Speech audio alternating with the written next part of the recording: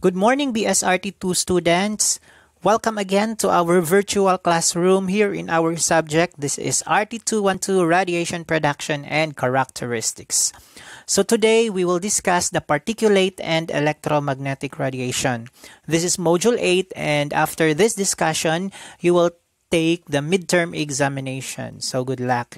But before that, I would like to say congratulations for reaching this far. So based on the previous discussion, you are right to say that radiation is everywhere. So in this module, you will learn that ionizing radiation can be categorized as either a particle called particulate radiation or a form of energy called electromagnetic radiation. So basically, we are going to distinguish particulate radiation and electromagnetic radiation. So when we say again ionizing radiation, di these are types of radiation that is capable of ionizing matter, especially the uh, di ba, the process called ionization that is basically the removal of an orbital electron from the atom. So after the ionization, there will be a negative electron or negative ion and the whole atom which the electron was removed will become a positive ion. So the positive ion and the neg negative ion combine together so they will form the ion pair. Now, all ionizing radiation can be conveniently classified into two categories. We have particulate or we call them corpuscular radiation and electromagnetic radiation. So the types of radiation used in diagnostic ultrasonography and in magnetic resonance imaging are non-ionizing radiation. Okay, so as you can see in our illustration, so we have particle beams. So most of their end products are particles or we call it sometimes corpuscle, diba? When we say corpuscle, that is a tiny particle. And look into the illustration of electromagnetic waves. So most of their end products are in form of wave or energy. Now we can say that particulate radiation, these are forms of particles or corpuscles and electromagnetic radiation, these are in form of energies. Okay? So, although all ionizing radiation acts on biologic tissue in the same manner, so there are fundamental differences between various types of radiation. So these differences can be analyzed according to the five physical characteristics. We have the mass, energy, velocity, the charge, and the origin. So here, we will differentiate um, which is more massive is it the particulate radiation or the electromagnetic radiation? When we say massive, di ba, I'm talking to alin yung mas mabigat, particulate radiation or electromagnetic radiation. So, which is more energetic? Is it the particulate radiation or electromagnetic radiation? Which means, um, which type of radiation can penetrate the body or more penetrable? Is it the particulate radiation or the uh, electromagnetic radiation? Velocity. So, which type of radiation moves faster? Is it the particulate radiation or electromagnetic radiation? How about the charge? Uh, uh, what type of radiation has negative or positive electric charges?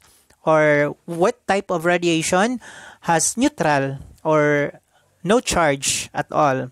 And origin.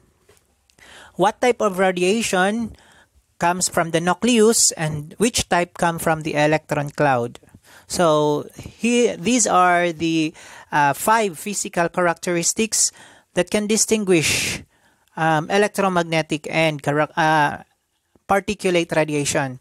So broken down, particulate radiation, so there are different types of particulate radiation. So which which type of radiation or which type of particulate radiation has more mass, more energy, velocity. So this is um, more of our discussion for this morning. Okay, so many subatomic particles are capable of causing ionization. So when we say subatomic particle class, so we are talking here on the three fundamental particles. Diba? We have the electron, proton, and the electron. So consequently, electrons, protons, and even rare nuclear fragments can all be classified as particulate or corpuscular ionizing radiation.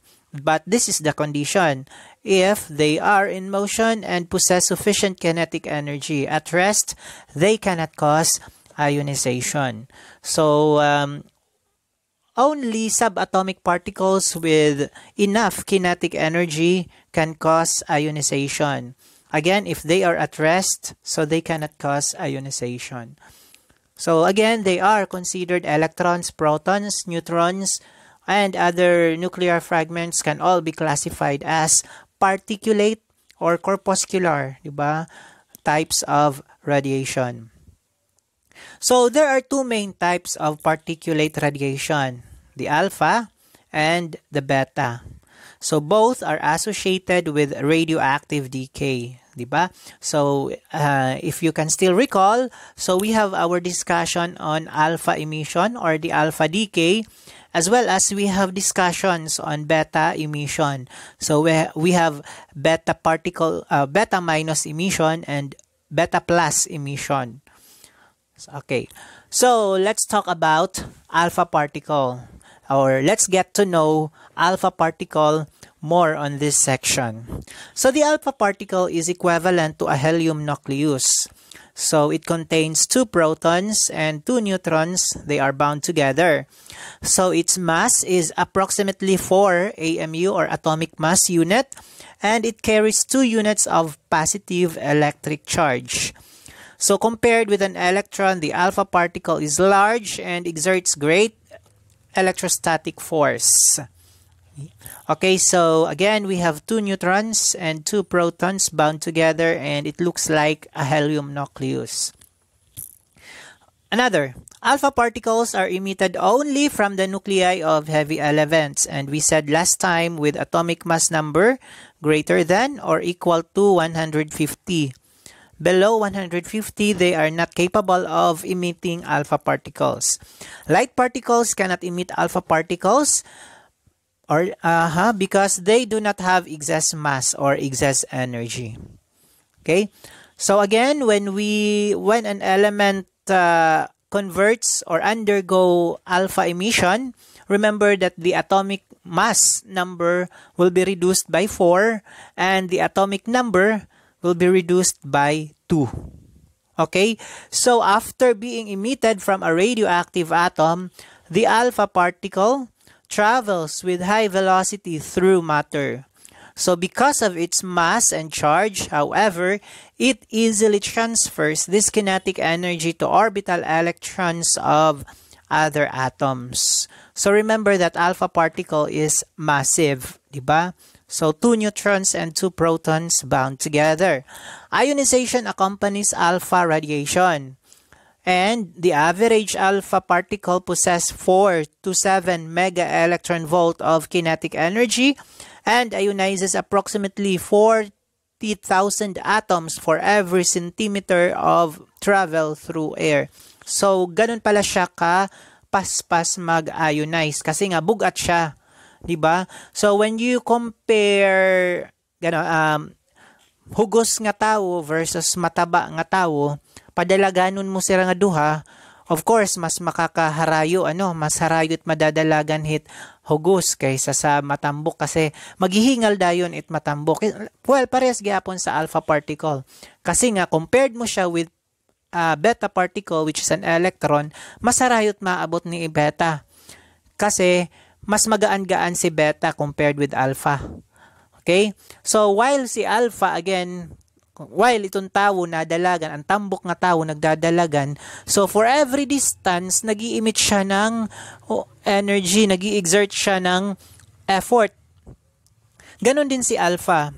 For every centimeter na iya natatravel, nag-i-emit siya ng ganun kalakas na energy. Kasi nga, mabugat siya. So, for example, ikaw, um, magdara ka, upat ka sa ako na bugas. Oo, pero sa ako nga may sulod. So do you think maabot ka from from our college papunta sa admin? I, I doubt there yan, no? Kasi for every distance na aton matatravel, mag-i-emit talaga kita, mag exert in energy kay tungod nga mabug atit aton dadara. So parang sugad si alpha particle. So for every, okay, so sabi nga dito, the average alpha particle possess 4 to 7 mega electron volt of kinetic energy and ionizes approximately 40,000 atoms for every centimeter of travel through air. So this is quite the energy of the alpha particle. What else?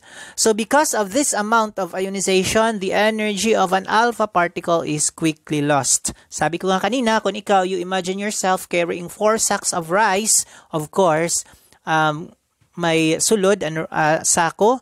So, diri ka makakaabot from college, College of Nursing down to the UEP admin. So, madali katatangla yun. Uh, bayan pala, paglusad pala hagdan, wara na tayo energy, di ba? So it has a very short range in matter. Whereas in air, alpha particles can travel approximately 5 cm. So in soft tissue, the range may be less than 100 micrometer. Ganun lang siya ka uh, ka ka ha, kahalipot itiya mata-travel. So sa air, pwede lang siya mag-travel in 5 cm whereas sa soft tissue, di siya masyado makaka-penetrate only for less than 100 micrometer. And in fact, alpha radiation from an in external source is nearly harmless because the radiation energy is deposited in the superficial layers of the skin. So sabi nga, alpha particle can even um, uh, the, the, the many, minimum barrier pwede na siya maharang sa piece of paper. Dere na siya makakadiretso pa with a piece of paper. How much more sa soft tissue? But with an internal source of radiation, just the opposite is true. If an alpha-emitting radioisotope is deposited in the body, it can intensely irradiate the local tissue. Radon irradiating lung tissue is an important example. So the radon contains alpha particles. So pag ma-inhale, ito sa katawo, of course, makukurian na paggawas ang alpha radiation. Okay, so another example, if the food is contaminated, di ba? Before our last time, we have discussed the difference between contamination and irradiation. When we say irradiation, the radiation, okay, so attenuates or penetrate the human body. Okay, so there is an interaction of uh, the, the, the source and the object being irradiated. But when we say contamination, okay, so there is irradiation and at the same time, the irradiated object becomes the source of radiation.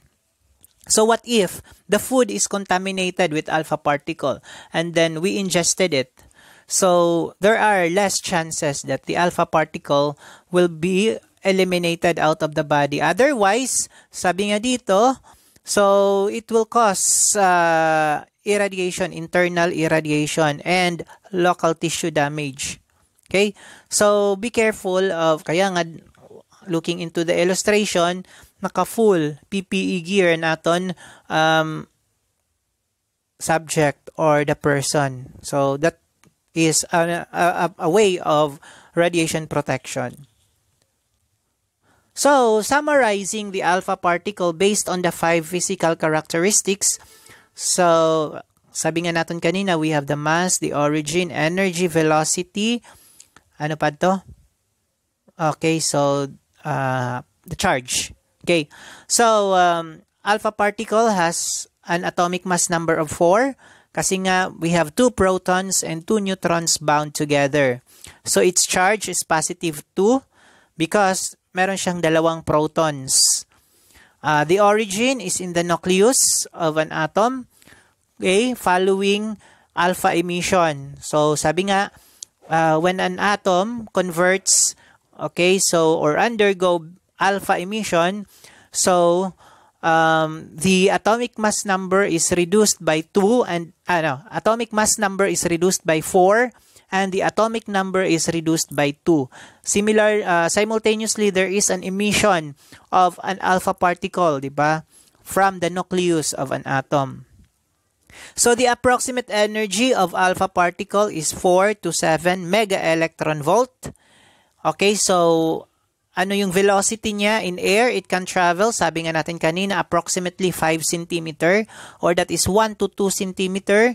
And in soft tissue, the range may be less than 100 micrometer or less than point or 0.1 centimeter. And the origin, again, is the heavy nucleus. So, nucleus ha, hindi siya electron cloud. Okay, so that is an alpha particle. So, next we have the beta particle. So, remember class that we have two types of beta particle. Diba? We have the beta minus, kasi nga for, from the beta minus emission, and we have the beta plus. So, by the way, for those who cannot write uh, properly the symbol, so beta, that is the Greek letter for beta. So, ganon it pag-write ha, dire kay letter B. Okay, so, Beta particles differ from alpha particles in terms of mass and charge. So basically, same it era origin, ano? So the nucleus. They are light particles with atomic mass number of zero. Bakit? Kasi wala silang pro uh, wala silang proton. Oo. And carry one unit of negative or positive electric charge. Negative if this is beta minus particle and positive if this is a beta plus particle.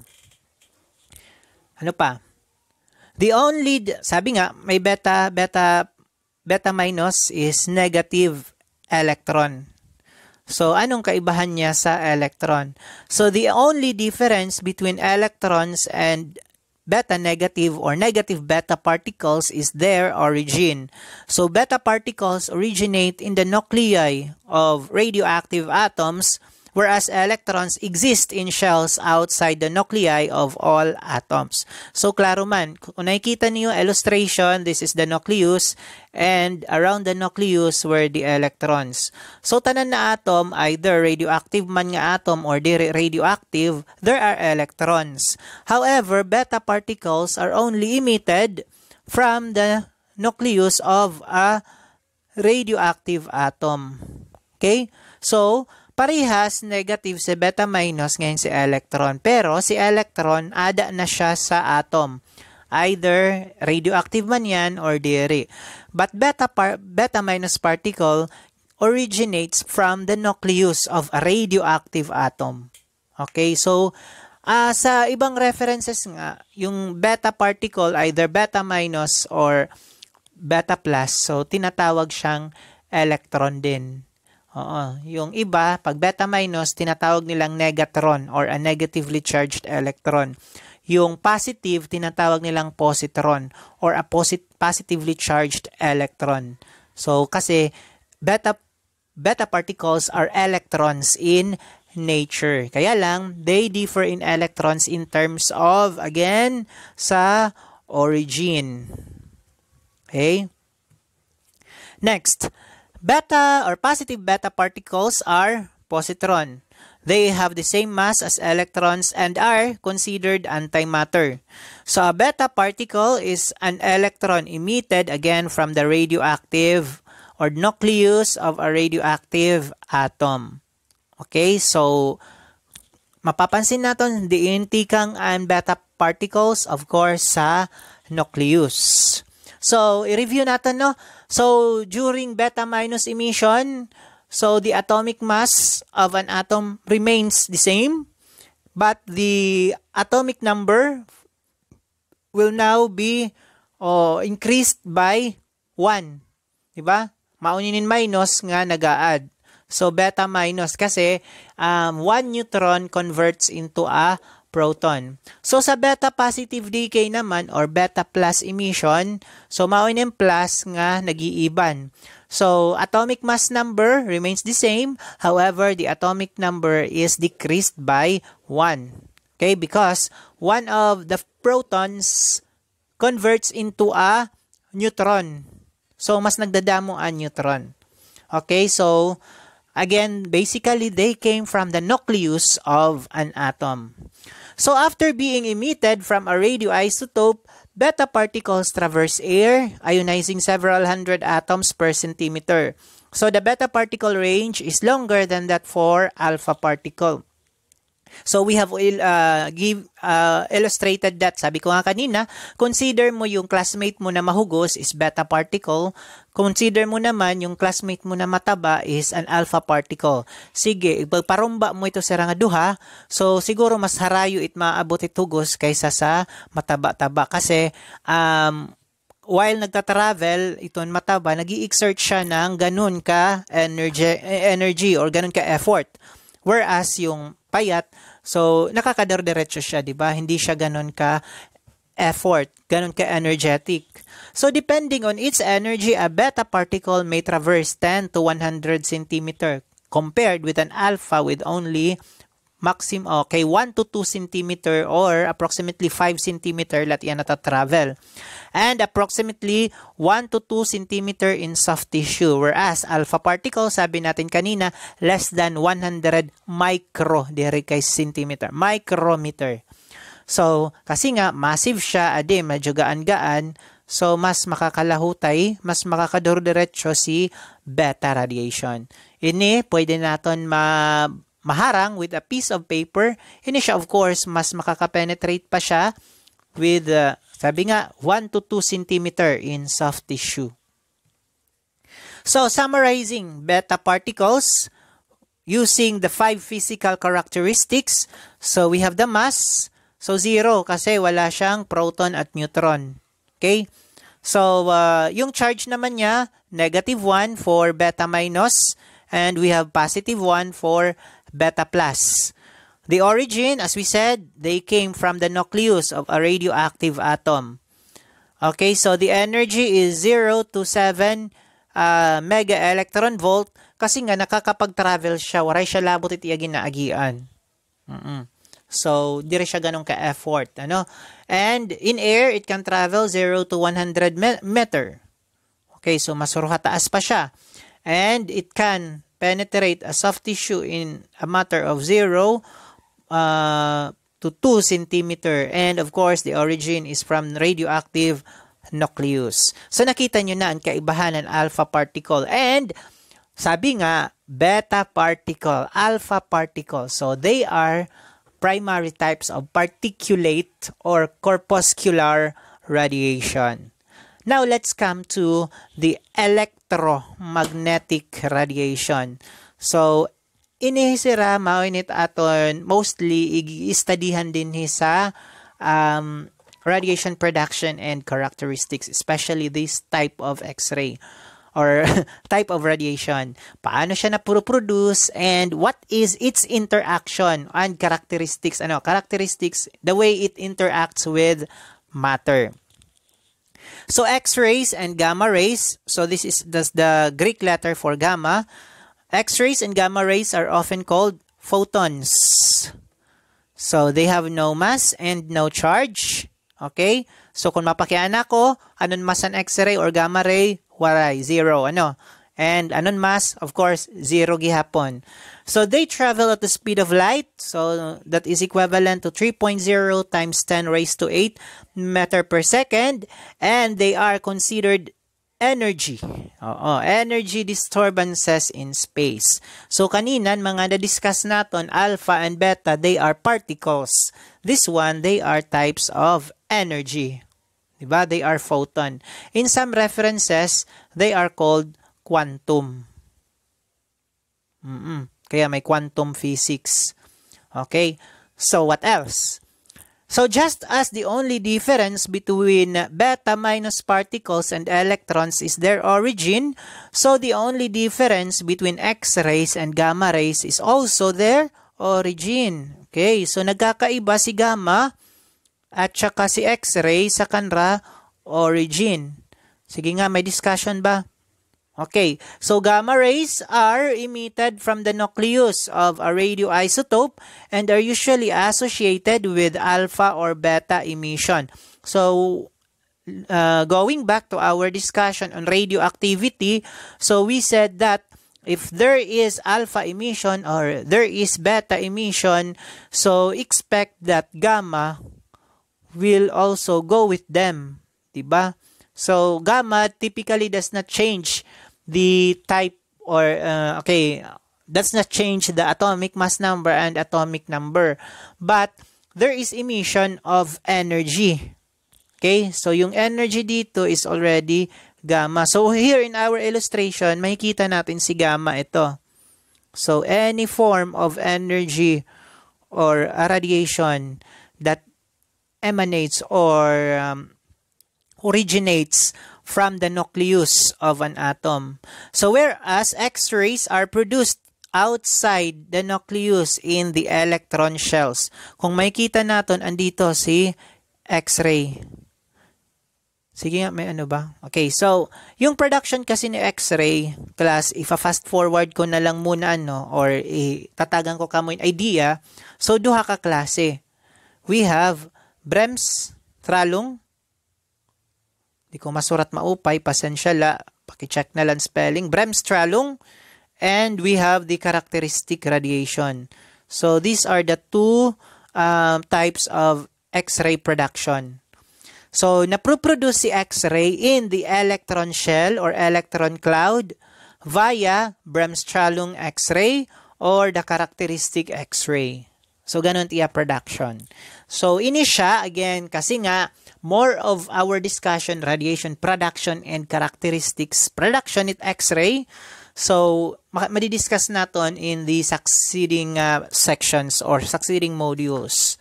Okay.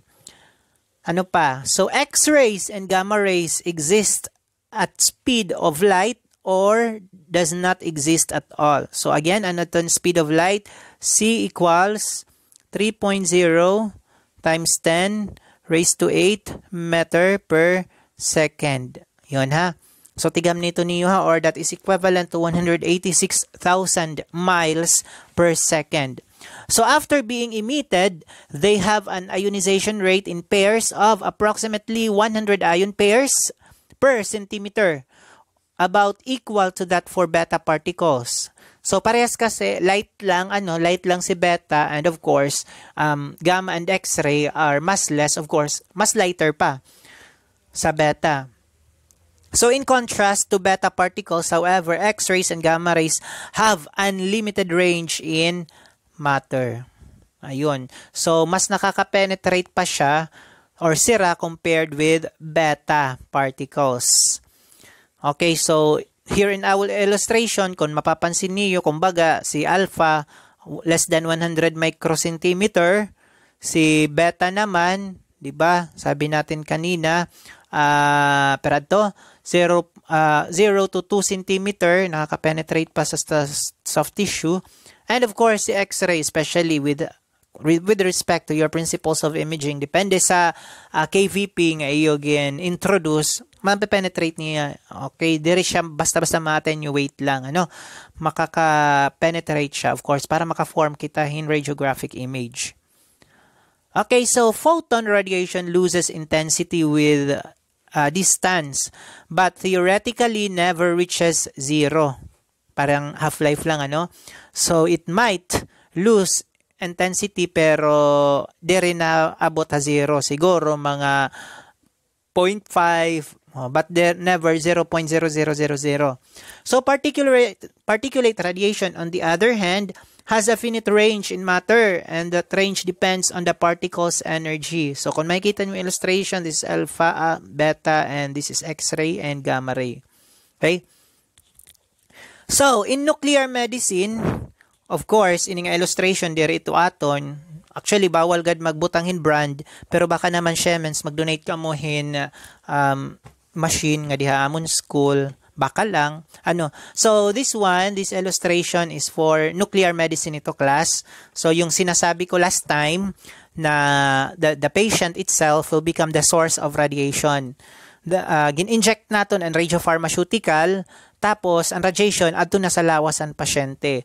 Now, kasi andun na sa katawan, i-detect na lang ang radiation. So, these are actually detectors. Okay? O, diri yan hadlo ka, no? Andi nga model. Actually, may radiation ito dida ang pasyente, pero nagpicture siya. Di ba, diri siya hadlokon? Ambot la iya. Actually, dapat may distance iton. So, um, in radiography, of course, diri ma pwedeng uh, sa manguhala kon internet basta-basta of course syempre kailangan may bida So this is radiography. In radiography, only X-rays are important. Uh, actually, sa nuclear, be- okay, beta and gamma. So, may iba nga mga radiopharma, tawag na to natin, nga, uh, nga radioactive substance, tawag ito radiopharmaceutical. There are some radiopharmaceuticals that are purely beta emitter. Um, if I'm not mistaken, iodine that is purely beta emitter. Whereas technetium that is both beta and gamma emitter. So in radiography, of course, X-rays are important. Kaya nga, the penetrability and low ionization rate on X-rays make them particularly useful for medical imaging. That's why in the principles of imaging, gin tututduan ka mo namon nga mag-compute hin appropriate KVP, MAS, that is for penetration and of course for the quantity of radiation. So summarizing the four uh, that the, the four types of radiation that are discussed, two from the particulate radiation and two for the electromagnetic radiation. Ito. So uh, this, these are the symbol class ha. By the way, at damot mga napansin ko diri pa maara magsuratin alpha. Ngayon, hindi rin pagyap maara magsuratin beta. Paki check yourself ha, may mga nagsusurat pa hindi rin mao. Okay, so this is uh, gamma, the symbol for gamma. Okay. And this is for, of course, X-ray. So, atomic mass, pansinon niyo dito. So, puro zero kasi they are light particles. Sabi nga natin, uh, no, no, they are not particles. Sabi nga natin, they are um, energy disturbances in space. Of course, they are not particles, so they have no charge. Gamma originates from the nucleus, whereas X-ray came from the electron cloud. What else? Okay, so approximate energy that is 0 to 25 mega electron volt for X-ray and whereas a gamma ray is 0 to 5 mega electron volt. So we can say that X-ray can be although they have the same energy ano basically pero mas matatawag naton nga mas hataas pa ngayon kasi may mga nabasa ako nga which is more energetic. Okay, so based on our uh, table, so we can say that X-ray can be uh, much higher than gamma ray. Oo. So, si X-ray is from 0 to 25 mega electron volt. Depende sa pagkakagamitan, di ba? We have discussed the several types of X-ray machine. We have the, um, kung napansin niyo, diagnostic, ano pa, ortho voltage, okay, mega voltage, yan. So, mega electron volt. And we have gamma rays that is from 0 to 5 mega electron volt.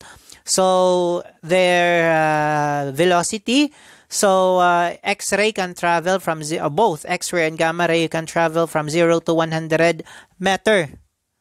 Sabi nga datin kanina, infinite yung pwede nirang matravel. Depende sa shielding. Okay, shielding material. So, in soft tissue, they can travel for approximately 0 to 30 centimeter. And the origin for X-ray is from the electron cloud whereas the gamma rays came from the radioactive nucleus. Gamma ray, again, nucleus associated with alpha or the beta emission. O, di ba, doon nagtatapos ang ating discussion for the midterm examination. So, for any questions, so visit, uh, okay, so you can reach me in different platforms, alam nyo na yan. And this has been your teacher, your professor, your instructor, your friend, whatsoever you're called, a vlogger. So saying, good luck on your midterm examination. I hope tanan makapasar gihapon even though we are just on a virtual classroom. So this is just for now. Um, see you when the pandemic ends or face-to-face um, discussions are already allowed. And ingat kayo palagi. Goodbye and God bless.